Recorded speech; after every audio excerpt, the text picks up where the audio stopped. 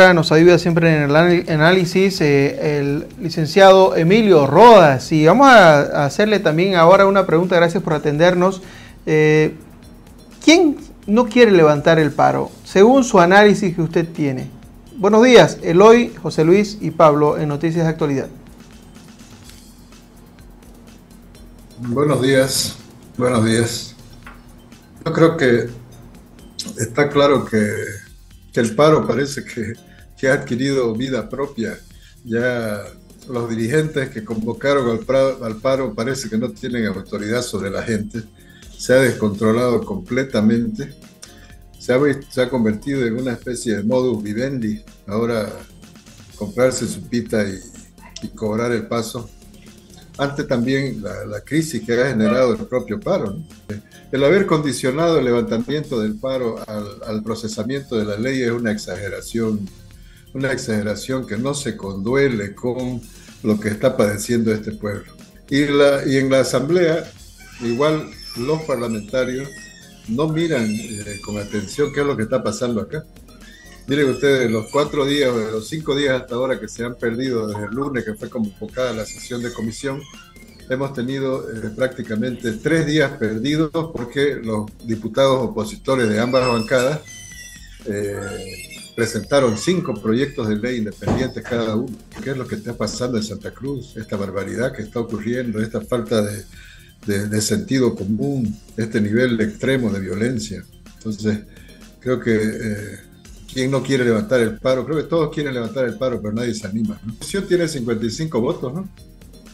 55 votos, o sea, solo le faltarían 11 votos a la oposición para, y con el bloque del oficialismo probarse, en todo caso, sobrarían votos en el Parlamento. No sé cuál es la dificultad. Si se le echa la culpa directamente al MAS, está claro que la oposición en este caso tiene 55 votos más 11 votos que consiga del MAS, le da para aprobar la ley pero eh, no hay esa voluntad. Pues.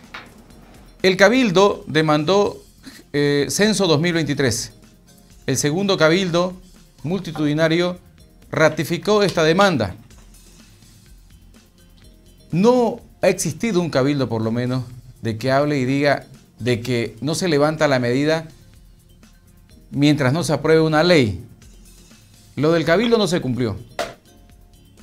Analistas señalan de que al igual que un ex cívico, de que la élite cruceña le falló al pueblo y que le ha mentido.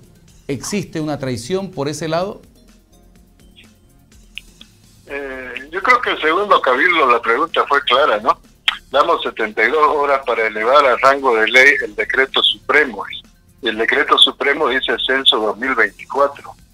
La bandera de la fecha es un absurdo.